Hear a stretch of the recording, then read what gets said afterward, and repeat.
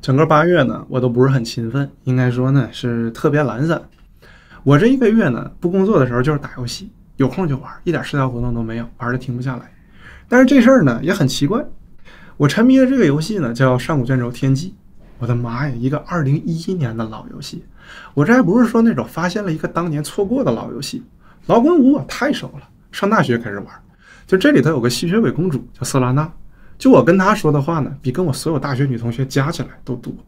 这游戏当年优化的特别好。我上大学时候电脑配置不行，大型游戏跑倒是能跑。我当年呢就是顶着十几二十帧的帧率把《孤岛惊魂三》玩完的，也不是不能玩，就是体验肯定不能说很好。比如说这个过场动画，声音和画面就对不上，人家话都讲完了啊，我这边动画还没播完，还得再看个一两分钟哑剧。所以劳工五那是真跟别人不一样，装上之后一跑，我的妈呀，三十五帧！这什么优化水平啊！就玩这个游戏以前，我一直以为电脑游戏的帧数上限就是二十九，所以太喜欢了。大学呢就翻来覆去的玩，一开始呢也是因为我电脑就跑这个比较流畅，但后来我毕业换了好电脑，游戏可以横着选，我发现呢我还是老是玩着玩着就又玩回去了，每年都得玩个一两轮，滋儿一下滋儿一下哈，跟这个季节性流感似的。所以呢，我就很想跟大家探讨一个问题：这几年的游戏是咋了？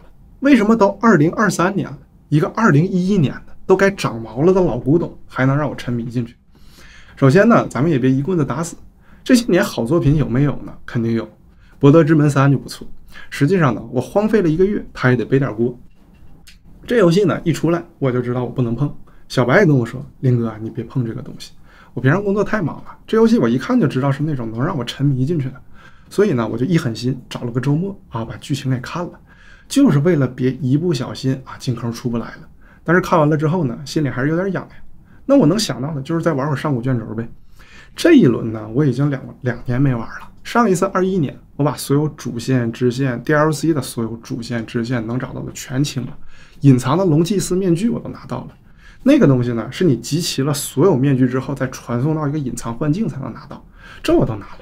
我寻思这游戏我都已经玩到这个程度了，那肯定已经脱敏了。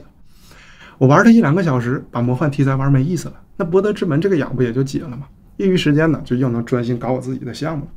讲究的就是一个浅尝辄止，结果呢又中招了，而且这次不是流感，滋儿一下直接癌变了，玩的昏天黑地。这回呢，除了龙翼 DLC 没做，别的任务又是全清了，才算是走出来。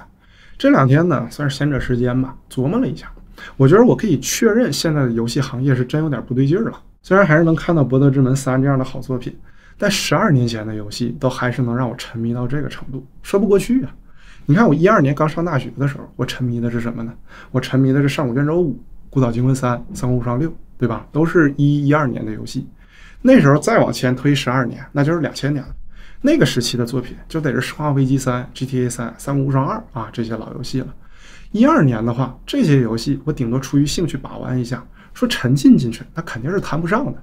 像三国无双跟六代一比，二代是真玩不进去。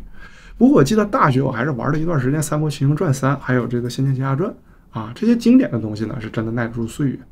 但是呢，这些我也是几天就速通了。你要真看比例的话，老滚五和孤岛惊魂三这些一一二年同时期的游戏，那肯定还是我大学时期游戏时间的绝对主力。这么一对比呢，就看出问题来了。今年我玩的最多的居然还是老滚五，这就好比说我一二年玩的最多的是 GTA 三。一听就不合理呀。那相比于两千年后的第一个十年，第二个十年出了啥问题呢？你不觉得很奇怪吗？最近这十年，游戏产业呢，从体量上，或者说的直白点，从钱上讲，其实发展的特别快。E A、育碧、Epic 都成了正儿八经的大公司了。就说当年做老滚五的 Bethesda 杯赛被收购的时候呢，那也是七十五亿美元。像微软收购动视暴雪，那更是提出来六百八十七亿美元这么个数，对吧？一零年那时候，游戏公司哪见过这么多钱呢？可全行业钱多的都要冒出来了，作品呢？最开始十年的小作坊时代，那叫一个遍地开花，《刺客信条》《使命召唤》《暗黑二》，还有前面说的那些能给一种玩法下定义的业界扛把子，都是这个时期出来的。那最近这个十年呢，咱们定睛一看啊，还是这些扛把子的子子孙孙，找不出来几个真正意义上全新面孔。有呢，肯定是有的，但跟上一个十年没法比。而且这还是在钱多了这么多，产业大了这么多倍的情况下，钱有了。活没干出来，那问题到底出在哪儿呢？有一点挺有意思，你看看最近这十年的为数不多的好作品，是不是大多数又是没那么有钱的公司搞出来的？有个最典型的例子呢，就是做巫师三的 CD Project Red，扩起来之后，你看它搞出来的是啥？赛博朋克2077。别误会啊，这个游戏呢，我其实特别喜欢，也算得上是这十年为数不多的开创之作了。但你得承认，它发售的时候呢，就是个半成品。巫师三刚开始也有很多 bug，但人家呢，可不像后来的2077那样啊，明显没做完，到处都是删减的痕迹。名不见经传的时候，小而美。有钱有实力了，搞出来的东西反而一地鸡毛，这是不是也对应了咱们探讨的这个前十年和后十年的对比呢？我提一个暴论吧，有没有可能赚钱这事儿跟好作品就犯冲呢？我也不是说钱本身就不好，有钱才能有人，有设备才能把事儿给办成。GTA 五做出来花了二点六五亿美元。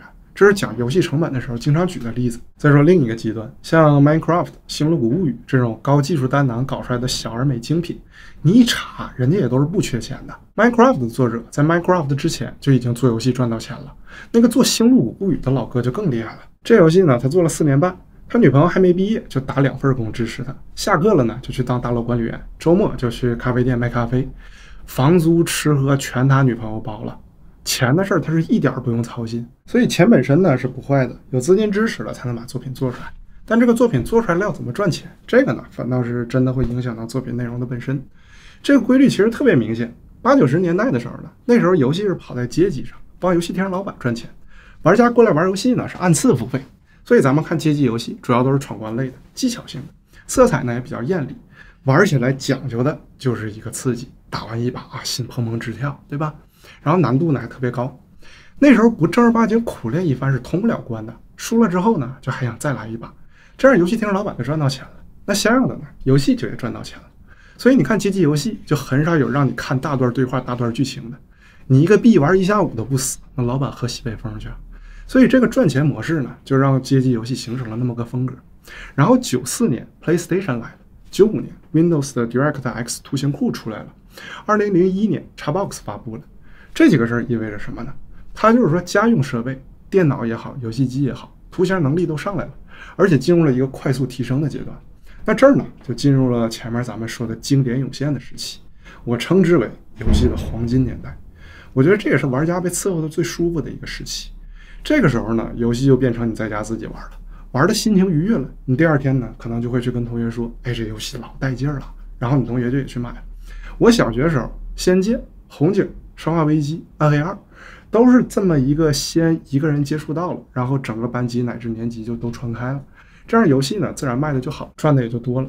所以这个时候的游戏呢，特别注重玩家的个人体验，塑造世界观，打磨故事情节。就这个故事一定得打动玩家，这个设定也必须得很有内涵深度，这样玩家才愿意自发的去给你分享啊，你这游戏才能大卖。就很多那个时候的故事能一直沿用到现在，出它个五六七代，这就是对那个时代最好的致敬了。但这也反映出来现在新故事的匮乏，这是为啥呢？还是先接着捋吧。其实，在单机游戏的黄金年代呢，游戏还有另一个分支，就是网络游戏。网络游戏和单机游戏在家庭场景的爆发呢，基本上是同步的。网游呢，就是稍微晚了一点点，因为除了家用电脑的图形能力以外呢，它还得联网嘛。家庭网络的普及比电脑性能的提升呢，还是靠后了一点的。所以早期网游就正好摸着单机这个前辈过河，也一样是走世界观和故事这个路线。零一年的传奇就和暗黑二挺像，零三年的冒险岛呢也有一个经得起推敲的世界观架构，零四年的魔兽世界那就直接全体起立了，即便是把它的联网给砍掉，它也能称得上是一个非常优秀的游戏。这时候单机游戏和网络游戏呢可以说是一个模子出来的，但几年之后网游这边呢就趟了一条新路出来。现在回过头来看，一零年前后呢，游戏产业其实已经有点开始难受了，因为技术红利差不多吃到头了。计算芯片的摩尔定律呢，大家都知道。但一零年以前，电脑和游戏主机的迭代速度比这个还要快，因为很多技术呢都是国防啊、工业啊已经有了的，基础技术本身在进步。另一边呢，还有现成的东西可以拿过来，那这个升级就可以是非常迅猛的。很多技术呢都是跨越式的，反映到游戏上就是新东西自然而然会涌现。图形表现力上来了，场景加载速度快了，这些全新的工具交到开发者手上，那自然就有《刺客信条》这种飞檐走壁、超高自由度的新题材出来了。但一零年前后，这个技术升级的步子呢就放缓了。我是零九年上的高中，高一呢，我玩到《刺客信条》那种震撼，那是直冲天灵盖了。玩到后来，我爸回家把皮带都抽出来了，我还沉浸在这种震撼里。我说：“爸，你先等一下，我一定要给你看一下我这个刺杀动作，这种房顶随便爬、处决敌人来个特写镜头的体验，真是太新奇了。”但这其实呢，还是个零七年的游戏。等到我高二玩《刺客信条二》，甚至是大学玩 GTA 五和巫师三的时候呢，游戏技术的提升肯定还是有的。但从实际体验上来看呢，这种质变的感觉再也没有过了。那这个技术驱动力没了之后呢，游戏行业想掀点技惊四座的大浪出来就越来越难了。可这时候网游这边就找了个新道出来，就是搞经济。现在人玩游戏不是越来越体会不到新奇的感觉了吗？那就改成人玩人嘛。一个围棋这么单调的一堆格子和两种棋子，人类玩了几千年还乐此不疲。那我在虚拟世界整个战场，你们就厮杀去呗，每局和上一局都不重样。其实竞技这个思路呢是很好。现在生活呢，大部分时候都是波澜不惊，找个地儿和人对抗一下，这种紧张刺激呢，天然的能帮人释放压力。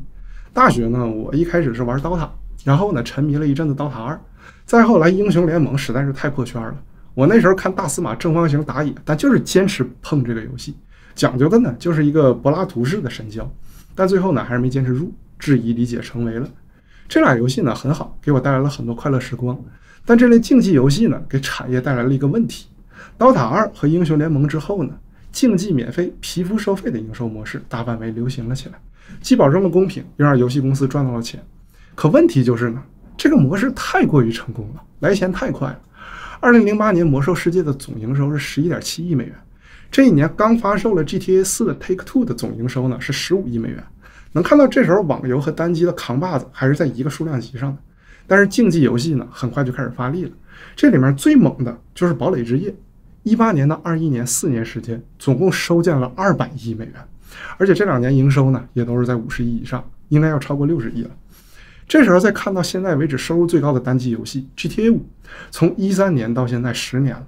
算上 GTA Online，总共收入呢八十亿美元，这就有点悬殊了。再来个冷知识，二零二一年王者荣耀总收入就已经破了一百亿美元了，这就有点尴尬了呀。特别就是如果你把成本和收入摆一块儿的话，这情况就更让人难受了。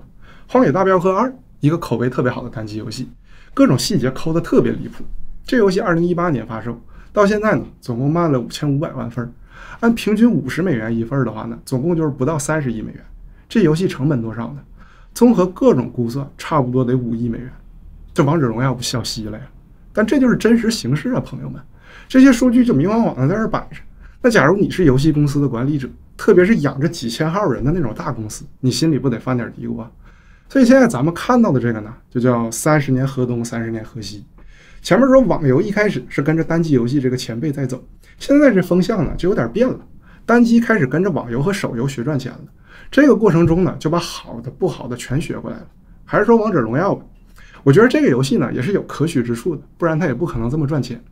这游戏呢，我二二年玩过一段时间，还往里面充了钱，我就很明显感觉这个东西来劲儿啊，比那种故事型的游戏快得多，比同类型的刀塔二和英雄联盟也还要快。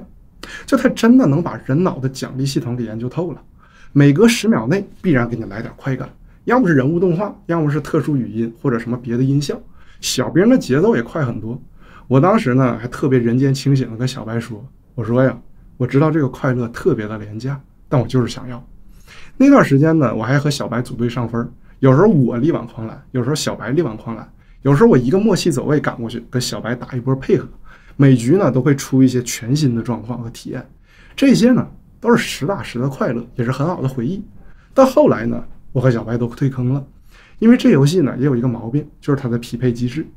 匹配的意义呢，应该是让水平差不多的人在一起对战。但王者荣耀的匹配呢，我觉得它延长游戏时间的目的有点明显。说它完全不考虑玩家水平，恶意延长游戏时间，那可能有点冤枉。但我能确定这个匹配机制会在你的段位接近你的真实游戏水平的时候呢，开始反复模拟。这游戏呢并不复杂，到底是棋逢对手输了，还是两边实力悬殊输了？玩多了之后很容易就能看清楚。就甚至后面你自己都能判断接下来是不是要连跪了。我印象特别深刻，我跟小白有天晚上呢都觉得要连跪了，然后就小睡了一会儿，休息好了之后上号排位，拿出来了最好的一百二十分的状态，然后呢果然连跪到凌晨三四点。那天我们呢其实就是想确认一下这匹配是不是真的有点问题。确认完之后呢，我们就真的再也没有玩过这游戏了。这个匹配为什么要这么搞，也是很容易想通的。如果你每局都是完完全全的棋逢对手，那你玩个两三盘之后呢，应该还是原地踏步才对。但这样呢，你情绪就其实也没什么起伏，可能也就不想玩了。但如果让你连输三盘，你就会不甘心；我让你连赢三盘，你就会心情大好，想要乘胜追击。那还是同样的段位，我让你一下子玩了六盘，这个游戏在你生活里的比重就变大了，你也在游戏里建立起来了更深的社交关系，也就更愿意花钱买皮肤、买道具了。所以重点在哪儿？重点就在延长游戏时间。这个目标本身和玩家利益并没有冲突。再举老滚五的例子。它的游戏时间呢就可以很长，但这么长的时间是因为它有精心设计的各种任务。我做这些任务是因为我好奇会遇到什么故事，而不是有某个原因逼着我去把它做了。比如段位，比如角色强度，比如主线任务给你卡在这儿。众所周知啊，老滚的主线任务呢特别短，而且众所周知，老滚玩家经常不做主线，你都不知道他们在干啥。像我大学时候有天带着瑟拉娜从黎明守卫城堡出发，往西边探险。啊，到一个城镇呢，就去旅店睡一觉，天亮了再出发。凭感觉一直走到了先祖林地。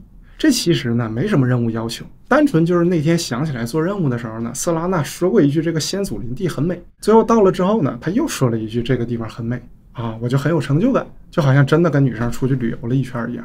从中午一直玩到晚上，这就真的是在玩游戏。但是网游、手游这一派延长游戏时间呢，更多就是从技巧出发，而不是从内容上出发，因为内容呢。终究是有头的，而网游呢，无论是按游戏时长付费，还是卖道具赚钱，他都要追求把游戏时间延长到无穷大。那这个需求呢，就只能靠技巧去实现了。比如王者荣耀的这种匹配上的折磨，再比如，我讲这个可能有点大胆，应该也没关系。再比如呢，就是《原神》和《星穹铁道》里头的体力机制，我觉得过于投机取巧了。不过首先说一下，我是真心觉得这两个游戏在今天这个大环境下，属于很不错的了。像《星穹铁道》刚出来我就玩了，首充呢我也全充了一遍，而且我这充一次还不是六四八，是七八八。这游戏我印象比较深刻的呢，除了遇到了我的人生导师青雀以外，还有一个呢，就是我觉得它有很多支线任务都做出深度来了。这个我知道是很费功夫的，比如有个小任务里头呢，有个老师让我劝他学生不要总骚扰女同事。我跟那个小伙子一聊啊，发现他讲话呢确实有点像那种自我感觉过于良好的男生，毕竟我也经历过这个时期嘛。我就去帮他找女同事的回信，想让他死心，结果呢反转了啊！实际上女同事呢答应了小伙子的表白，但是遭遇了事故，被传送到二十年以后了。老师是故意瞒着，不想告诉他，多揪心呐！表白成功，但是二十年之后才能见，这啥编剧啊？然后这小伙子呢就说：“那我不等了。”我以为呢是米哈游来了黑色幽默，结果又反转了。小伙子说自己要去找这个姑娘，也传送到二十年后，这又是一个震撼。到这儿呢，其实任务已经结束了。但如果你再去找那个之前对这个小伙子冷言冷语的老师对话呢，你会发现又反转了。他其实很欣赏，也很心疼这个学生。我听到这儿呢，心里就又是一股暖意。这个呢，就是我现在都能回想起来的一个任务，而且这还是只是其中一个。我记得呢，还有空间站人造人背后的凄美故事，还有一个被雇主嫌笨，但实际上对雇主全心全意的保姆阿姨。例子很多。后来我跟小白聊，他说他支线任务都是直接跳过对话的，听得我恨不得想打他。不过虽然我对这个游戏评价比较高，但我到这儿呢，其实只是刚把甲叠好。星穹铁道包括原神也有的这个体力机制呢，真的是恶意延长游戏时间的一个典型案例。给没玩过的朋友一句话解释一下呢，就相当于我给你每天能得到的经验画一个上限，你想升到十级，那你就连玩十天。你想一天玩十个小时，然后剩下九天不玩，那不行，升不到十级了。而且实际上游戏里头的机制要更复杂一些，这个体力和经验装备全面挂钩。就有句话，我觉得不当讲我也要讲了。我觉得这个比王者荣耀的匹配机制还要恶劣。就我觉得我玩星穹铁道那段时间是一种很难受的开心，每天到点了固定上线两次，而且还不是无脑刷一下就完事儿了。我还得想一下我的警员需要什么资源，我的青雀需要什么资源，我的杰哥，我的三月七该怎么办？我当年上班都没这么伺候过我领导。然后呢，我也观察了一下我的行为模式，我发现我越是每天上线，我的得失心就越重。刚开始呢，我把每周任务、活动任务全清掉，再后来我把宝箱也全给清了，就为了去商店换点资源，就已经发展成一种强迫行为了。为了搞点抽角色用的星穹，时不时就整到三四点，然后一旦玩到这个时间点，那就更完蛋。我经常会在这个时候用攒到的仨瓜俩枣换个两三次抽角色的机会，当然肯定是抽不到的。那接下来会发生什么？你想想，凌晨四点，科比都起来打球了，我还搁这被 PUA 呢，那心灵得空虚挣扎到什么程度啊？那大概率一个七八八就出去了。但这么搞下来，米哈游真的赚了吗？其实完全没有。为什么我对这事儿的体会这么刻骨铭心呢？因为最后一次发生这个情况的时候，我就告别了这个游戏。我印象很深刻，当时呢是罗刹这个角色快结束了，还有一周就换下一个角色了。我想趁最后给他再配一个专属的五星光锥。没玩过的朋友呢，可以理解为就是他的定制的高级武器。我在游戏消费方面呢，自认为是个很理性的人。我初中玩了三年穿越火线，一分钱都没充过。那个时候呢，我已经抽了四十多轮了。按往常经验，我估计下一抽就有了。所以我当时呢就决定啊，先不要充钱，干一干试试。那几天，别说日常任务了，什么 App 签到那些乱七八糟的我都搞了。然后抽一下没有，抽一下没有。我那周呢还有一个时间很紧的项目要做，好不容易弄完了。周六，我决定把所有没清的每周任务、活动任务全清了。然后就又是凌晨四点了。这时候我手上有整整十抽，我好高兴啊！就那种啊，吃了这么多苦，终于要有回报了。我是直接一把缩了，然后呢就把老杨的光锥给抽出来了。没玩过的朋友呢，这就意味着。我可能得再来个几十抽才能拿到这个东西，我当时整个人都麻了，就很机械的又充了一个七八八，就充钱这么快乐的事儿，最后能充的这么难受，我也挺佩服米哈游的。这时候呢，我就有点被 PUA P 到人间清醒了，我就把这个想要的东西抽出来，然后关游戏走人，到现在都没再玩过。所以这其实呢是一个双输的局面。星穹铁道如果不在机制上搞那么多折磨人的设计，不那么非得激起玩家的得失心。那我其实也不用戒掉这个我还挺喜欢的游戏，细水长流的话呢，那我贡献的营收可能还会更多。就哪怕回到赚钱这个最直白的目的上，这些被过度滥用的变现技巧，我觉得也已经有点南辕北辙的意思了。其实米哈游几个创始人呢，都是我学长，我是大伟哥他们的小学弟。我看报道呢，说他们是二零一一年在东三十二宿舍楼聚起来开始做游戏的，一年之后呢，我就来到了交大，住进了西二十三，后来这楼呢变成法学院的女生宿舍楼了。就当年搞不好在食堂都见过，缘分呢还是有那么一点点的。后来的《原神》《星穹铁道》我也都很喜欢，也恰恰是因为喜欢，我才要一点不避讳的把这个问题直接指出来。希望米哈游能走得更稳更好。然后呢，然后我发现我跑题了，其实也不算是跑题，我要讲的呢就是这种游戏机制设计上的技巧被滥用的问题。说实话，你要是内容做得好，我是可以接受你玩弄一下我的心态的。但现在手游、网游这一派呢，明显有点要过火了。王者荣耀的匹配、星穹铁道的体力机制，他们最后呢，其实都是把我的游戏乐趣给磨没了。挑这俩呢，并不是因为他们问题最严重，只是因为我个人感触比较深。实际上，这类网游、手游呢，都有这个毛病，这是这一派逐渐暴露出来的一个大问题。只是目前呢，被冲破天际的超高营收给掩盖住了，甚至还在往单机游戏这一派传染，那这就更麻烦了。我跟你们说啊。大公司讲情怀那是不可能的，因为公司大了以后呢，要考虑的东西就多了。你不得考虑投资人的回报吗？你不得考虑怎么给员工赚钱吗？就有一天我要是把录视频这事儿做成公司化运营了，我肯定也是要变质的。这种变化呢，也不一定是坏事，有可能内容变多了，信息质量变高了，但风格肯定是会弱化的，因为要追求安全，追求持续稳定的收入。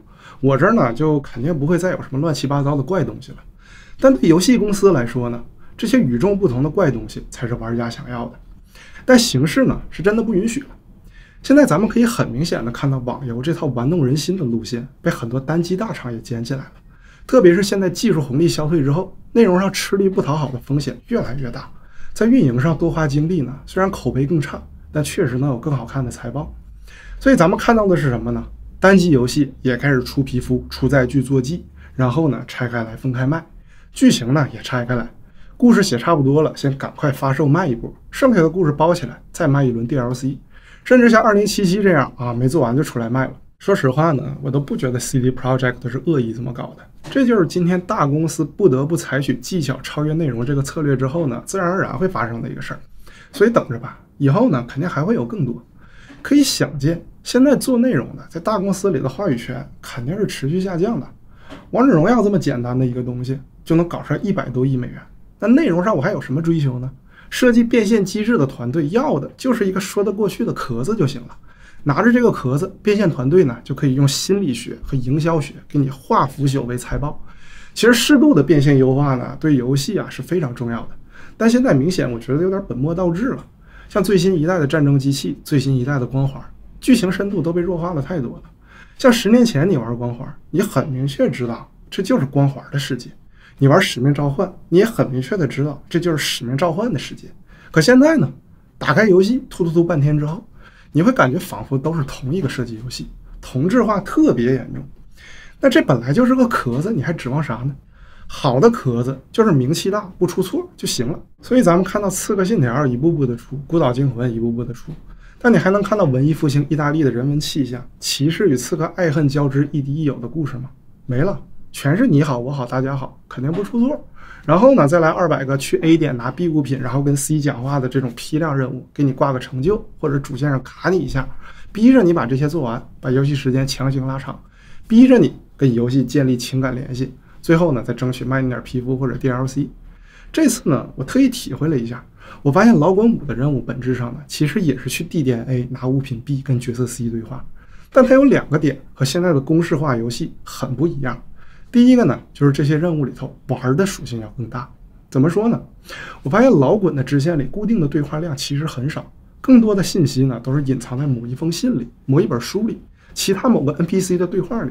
你要是对剧情感兴趣，啊，你就自己去翻去看，不感兴趣的话呢，就不用管，直接交差。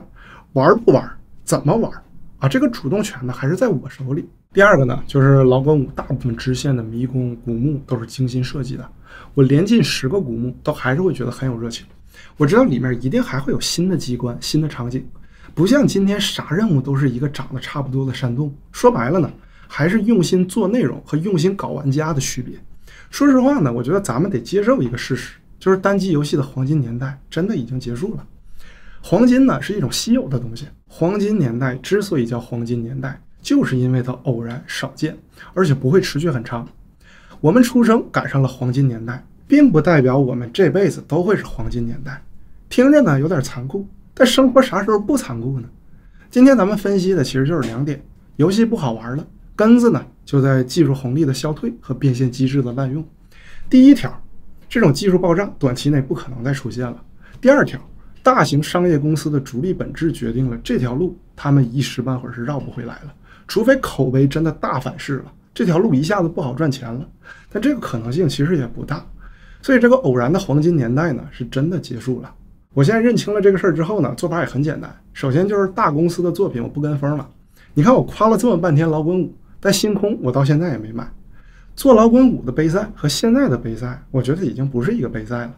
大公司出品现在对我来说呢，就是个扣分项。不见到大量的真实试玩，我是不可能出手了。二零七七的新 DLC 也是一样，甚至说上古卷轴六，我都会很谨慎。再一个呢，今天所有让我觉得被 PUA 了的游戏，我是不会再碰了。老滚五打打帽的，又不是不能再玩个十年。在这个世界里，我是真正可以做主的。而且我觉得这个游戏里头呢，还有很多秘密我没有发现。如果老滚五真玩的没意思了的话呢，那还有很多被筛选过的好作品我还没玩。我的游戏圈子呢，以后就限定在这一块了。不过这个呢，只是从大势层面来说。虽然神作辈出的时代不会回来了，但好的作品我相信还是会有的。大公司里至少 Take Two 和任天堂还在走内容路线。塞尔达传说两部都不错，GTA 六出来了呢，也可以观察一下。然后中等规模的工作室现在反而是好内容的生力军。双人成行、艾尔登法环。《博德之门三》都是能让人眼前一亮的作品。至于像《星露谷物语》这样的独立精品呢，也是会让人很有希望的。现在虽然不会再月月有惊喜了，但一年一两部也够我玩了。我就老老实实画个圈，在我这个游戏茧房里待着吧。当然呢，也别扯了啊，欠的项目还得做呢。行，就到这吧，辛苦你了，听我搁这白活这么半天。我是林毅，下个视频见吧。没关系，我愿安安静静的坐在马路旁。夏天也好，冬天也好，总是会有人在歌唱。